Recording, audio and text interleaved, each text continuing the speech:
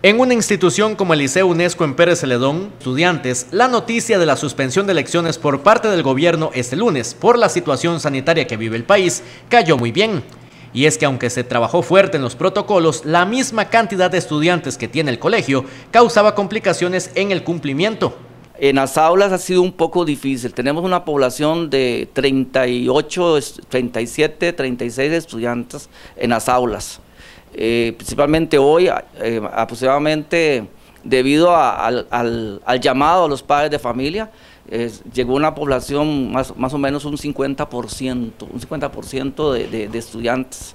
Y es por eh, los docentes están tratando de, aplicar el protocolo de distancia, pero cuando tenemos una población tan inmensa, tan grande, eh, es muy difícil, es muy difícil eh, poder eh, ejecutar el protocolo.